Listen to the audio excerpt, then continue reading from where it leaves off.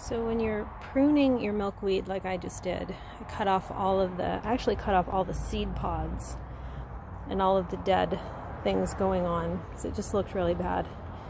And so when I say pruning it like you do a rose bush, you see this right here, is I, I cut off that tip right where, oh boy, right where that new growth is happening, right above where that new growth is coming out of that stem.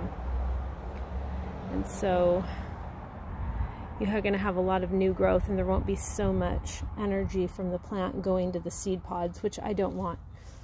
There's a lot of milkweed seeds flying around. So I left some of the flowers, but I pruned off all of the, just the seed pods and pruning it above the knuckle on the branch. Um, let me see if I can get another one here to show you. So see on this one right here, there's new growth coming out and I just trimmed off the top. I think that's how to keep your milkweed healthy is doing that this time of year. So, and this one's been pretty healthy so far.